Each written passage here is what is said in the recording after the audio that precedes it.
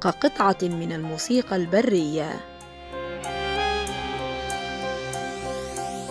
أفلتت من لحن قديم. عزفت على أوتار الروح فلونت كل ما حولها.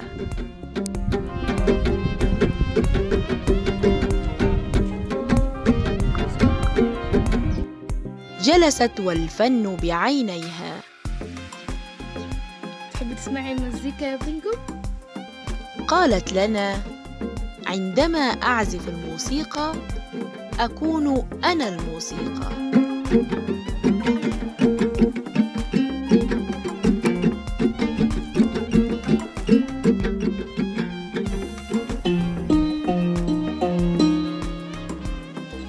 ساحرة بلا عصا سحرية.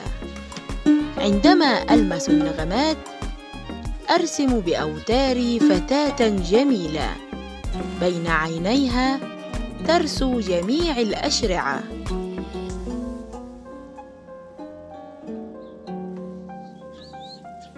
أرسم سحبا وسماوات نجوما وشموسا وأقمار. أرسم لقلبي وطن وأسكن فيه.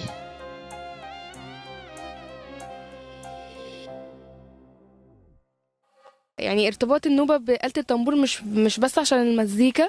آه، آلة الطنبور مكونة من جلد جمل من من من جرع عسل الصندوق المصوت جرع عسل أو طبق خشب آه، من أمعاء الأوتار دي من أمعاء الحيوانات. للأسف أنا من سنتين ونص تقريبا ما كنتش أعرف إنه في حاجة اسمها آلة الطنبور دايما أنا وطالعة أنا ونازلة من البيت وكده ببقى شايلة الطنبور معايا.